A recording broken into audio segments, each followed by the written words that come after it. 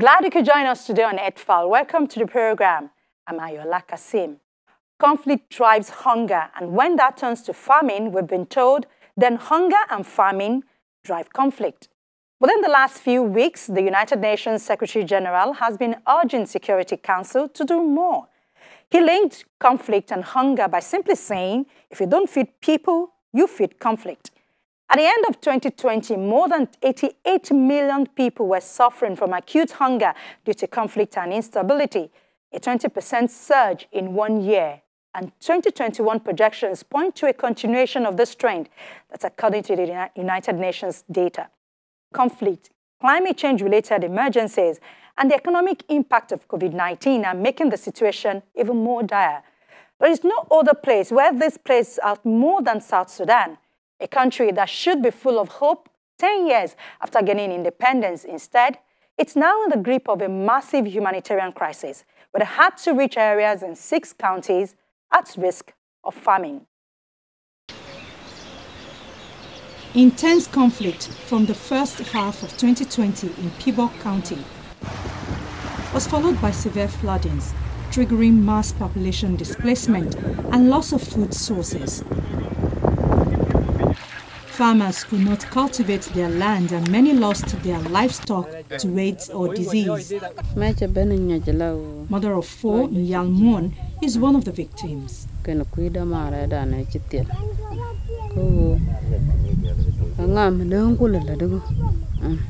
I was desperate when the floods came. No one helped me. My husband was killed in the fighting.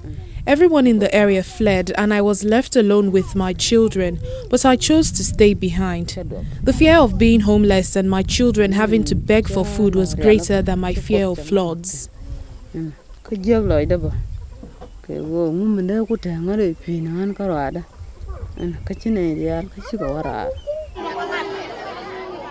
A hunger crisis looms where 7.24 million people, around 60% of the country's population, is increasingly hungry due to chronic sporadic violence, extreme weather patterns, and the economic impact of COVID-19. Many are losing hope fast.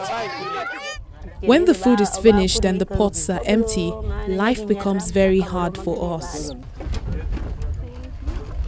The World Food Programme began scaling up its emergency food assistance last year in six counties in South Sudan, where 1 million people live, including 108,000 people who are extremely food insecure and struggle in a desperate daily quest for food.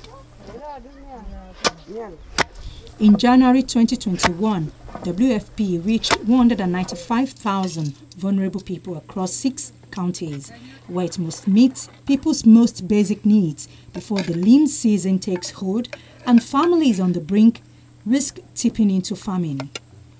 This year, WFP plans to reach over 5.3 million people in South Sudan with food and nutrition assistance across its emergency, nutrition and livelihoods programs.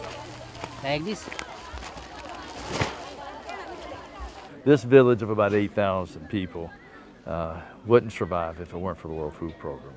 And hopefully, if we can end the conflict and work with the tribal leaders and the villagers here, then we can build dikes and harvest the water such that we won't even have to be here uh, again. And but right now, it's barely surviving. If we weren't here, there's no doubt that children, people would be dying. There'd be there'd be famine right now. In 2020, it reached more than 5.2 million people to boost the local economy. It has since injected more than $50 million in cash-based transfers, helping people to purchase their preferred foods. The economic impact of COVID-19 pushed people deeper into poverty, and millions of families struggle to put food on the table. The future of South Sudan depends on real peace and stability. While the causes of hunger are many, the biggest driver is conflict leading to displacement and loss of livelihoods. Political conflict, compounded by economic woes and drought, has caused massive displacement, raging violence and dire food shortages. Millions of its population are displaced either inside or outside its borders. The crisis continues to be a children's one, with more than 65% of the refugee population under 18, including 66,000 children who have been separated from their parents or usual caregivers. While some progress has been made in implementing the latest peace agreement, humanitarian and protection needs remain high for the largest refugee situation on the African continent. Today we are talking about 2.2 million South Sudanese refugees in the neighboring countries and a major chunk of this refugee population is children. We are talking about 1.4 million uh, South Sudanese uh, children being refugees. The amount that we have asked today is going to help the refugees in the five neighboring countries, uh, but also the host communities that have been hosting them so generously. The COVID-19 pandemic combined with climate change related challenges, including severe flooding, droughts, and desert locusts have compounded an already dire situation. COVID is not only a health crisis, it's a crisis of livelihoods as well. So with livelihoods disappearing, we are seeing food ration cuts, uh, refugees and host communities not having enough to eat, and us not getting enough funding as humanitarian agencies mean we cannot do much for these refugees and their host communities. The needs are dire and immense from health, shelter, food, water and sanitation and they need the world's help as soon as possible. Funding is urgently needed to provide life-sustaining assistance including shelter, access to safe drinking water, education and health services. Food shortages are particularly acute with insufficient funding already leading to ration cuts, impacting hundreds of thousands of refugees. Pandemic taking a toll on social economic conditions for both refugees and host communities, this year's response includes a renewed and increased focus on resilience and supporting livelihoods. The 2021 South Sudan Humanitarian Response Plan was launched on Tuesday, the 16th of March, aiming to reach 6.6 million people including 350,000 refugees, with life-saving assistance and protection this year. The plan requests $1.7 billion in funding to enable UN aid agencies and partners to deliver life-saving assistance to the world's youngest country.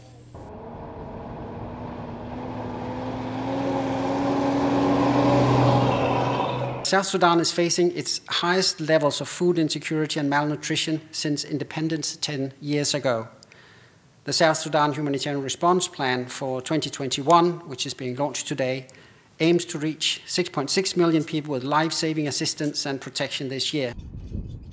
The Humanitarian Response Plan has identified 8.3 million people in need of humanitarian assistance, including refugees across the country. This is an 800,000 person increase in absolute numbers from the 7.5 million people in need in 2020. Violence and localized conflicts in many parts of the country also drive up humanitarian needs, and the impact, again, of COVID 19 on markets, services, and people's ability to move around have increased their vulnerability.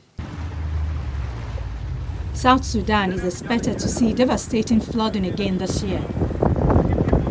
Last year and in 2019, flooding affected almost 1 million people. So the upcoming lean season uh, in South Sudan from May to July is likely going to be the most severe on record. And the immediate priorities in the response plan uh, are to sustain the deliveries in the most food insecure areas and prepare for this upcoming raining season, which could again be devastating. The World Food Programme has painted an equally grim picture in South Sudan due to a toxic combination of escalating conflict, climate change, and COVID 19 that could spell a hunger catastrophe for millions of already vulnerable people.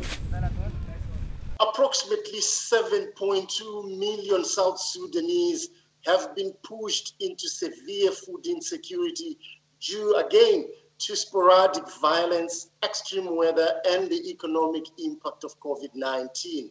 Now, this figure includes over 100,000 people who are in those hard to reach areas of six counties who are at risk of famine. They are literally one step away from famine, according to the Famine Review Committee's report.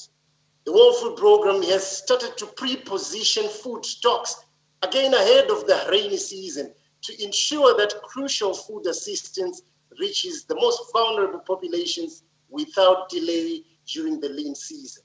While some progress has been made in implementing the latest peace agreement, humanitarian and protection needs remain high for the largest refugee situation on the African continent. The crisis continues to be a children's one, with more than 65% of the refugee population being under 18. The Democratic Republic of the Congo, Ethiopia, Kenya, Sudan, and Uganda continue to host South Sudanese refugees and to take steps towards their inclusion in national systems. South Sudan is facing its highest levels of food insecurity since the country declared independence, independence 10 years ago. 60% of the population are increasingly hungry. And food prices are so high that just one plate of rice and beans costs more than 180% of the average daily salary, the equivalent of about $400 here in New York.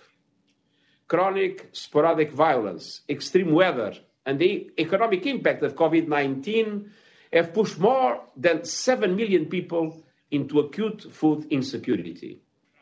When a country or region is gripped by conflict and hunger, they become mutually reinforcing. They cannot be resolved separately. Speaking to the United Nations Security Council, Mr. Guterres warned of multiple conflict driven famines globally, with climate shocks and COVID 19 adding fuel to the flames. At the end of 2020, more than 88 million people were suffering from acute hunger due to conflict and instability. I must warn the Council that we face multiple conflict driven famines around the world. Climate shocks and the COVID 19 pandemic are adding fuel to the flames. Without immediate action, millions of people will reach the brink of extreme hunger and death. Projections show hunger crisis escalating and spreading across the Sahel and the Horn of Africa and accelerating in South Sudan, Yemen, and Afghanistan. There are more than 30 million people in over 3,000 countries just one step away from a declaration of famine. The Secretary General informed the Council that he was setting up a high level task force on preventing famine, led by UN Emergency Relief Coordinator Mark Lowcock along with World Food Programme. This task force will include representatives from the World Food Programme and the Food and Agriculture Organization. And it will bring coordinated high level attention to famine prevention and mobilize support to the most affected countries.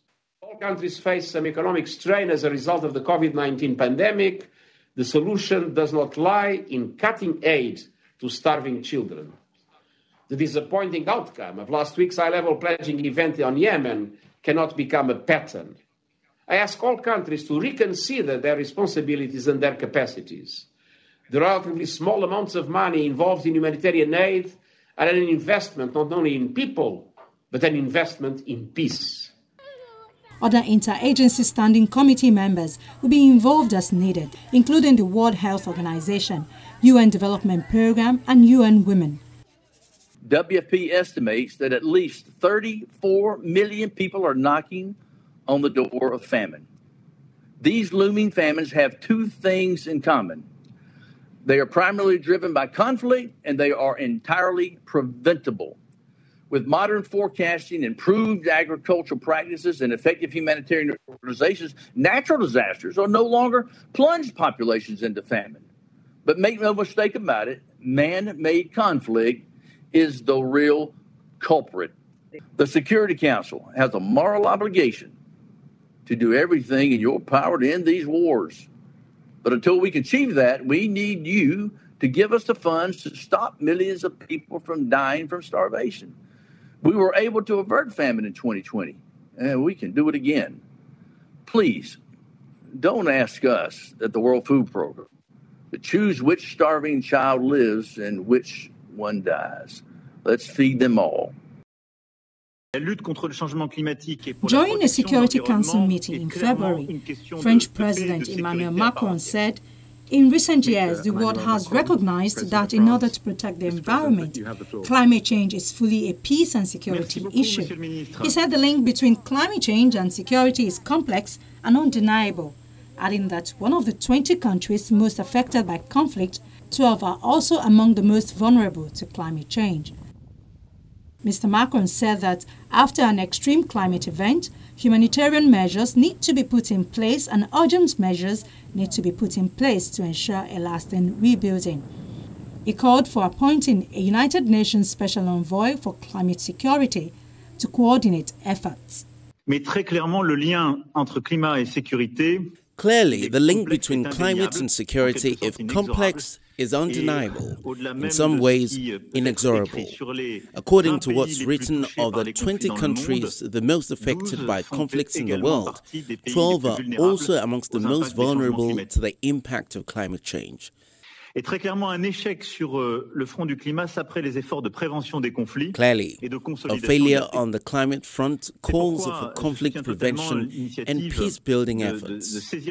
That's why I support the initiative of taking up these issues with the Security Council as part of its mandate of maintaining peace and international security. You see, it's a structured agenda an agenda of prevention and effectiveness, which justifies that it is on one hand taken up by the Security Council, and on the other hand justifies us supporting the nomination of a special envoy for climate security. However, Russia and China questioned whether the Security Council is the right forum to be discussing climate change. We agree that climate change and environmental issues can exacerbate conflict. But are they really the root cause of these conflicts? There are serious doubts about this. We need to vigorously pursue sustainable development. Climate change is, in essence, a development issue. Sustainable development holds the master key to solving all problems and eliminating the root causes of conflict. The international community should help the countries in conflict regions, least developed countries, and small island developing states to build capacity for development. Countries are encouraged to make climate response part of their economic economic and social development plans and take multi pronged measures for parallel and coordinated progress in economic growth, poverty reduction, job creation, health promotion, ecological conservation, and climate response.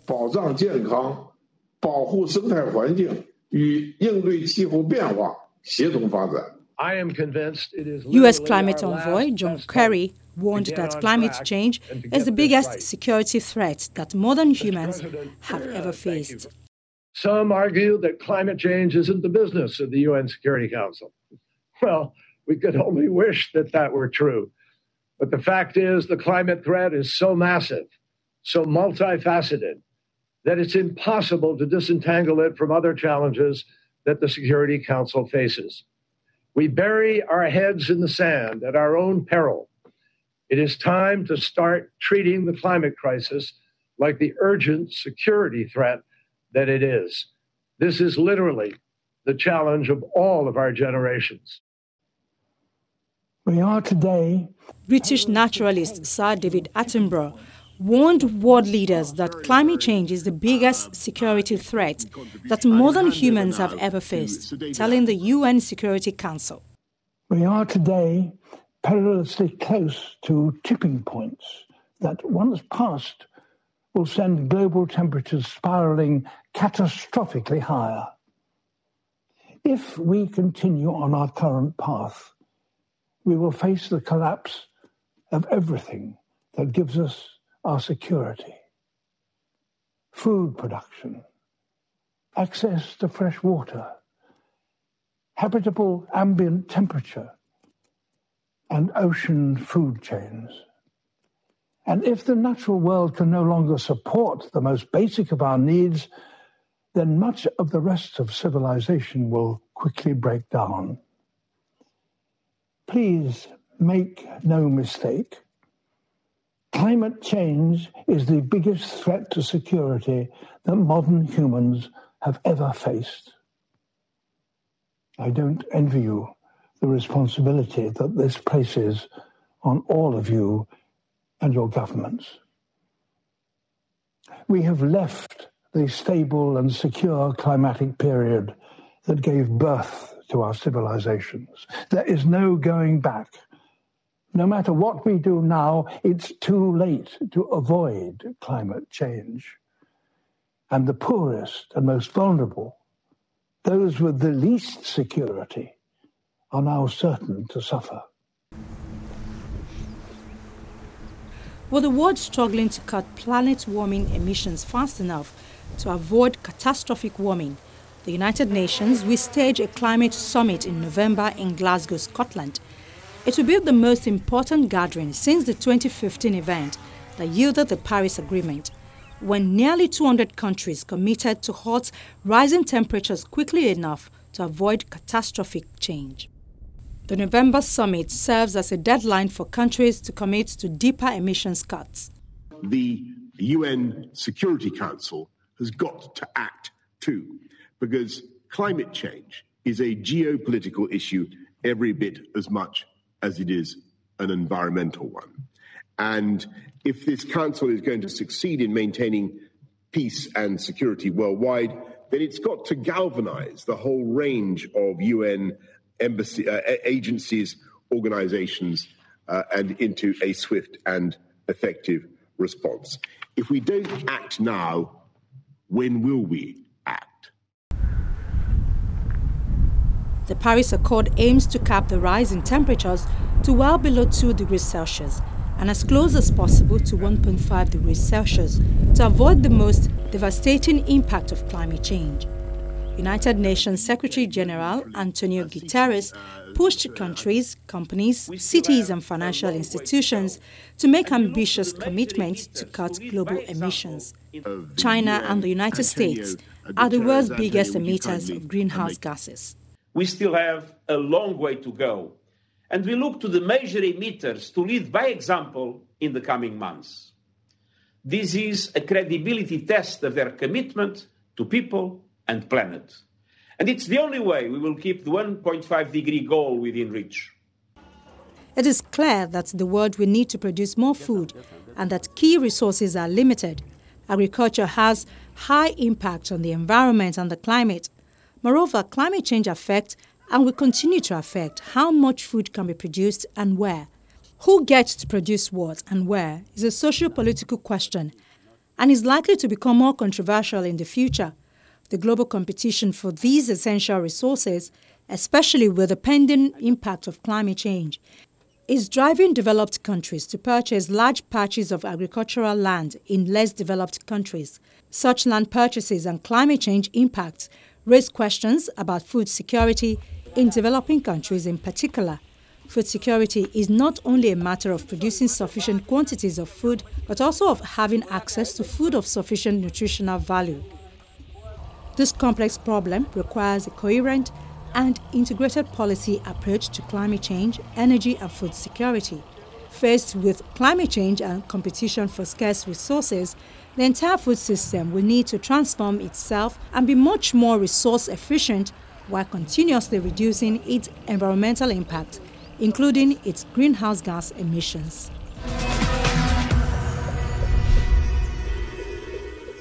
Before COVID 19, the world was no longer on track to meet the SDG of eliminating hunger by 2030. Matters have gotten much worse since then, with climate change and conflict being major drivers. In solving the climate crisis, experts say you are solving people's food problem, but if you don't feed people, you are simply feeding conflict. That's our program for the week. Thank you for staying tuned. We hope to be back with you next week. From me, Ayola Kasim, and the Earthfile crew here in Lagos, it's bye for now.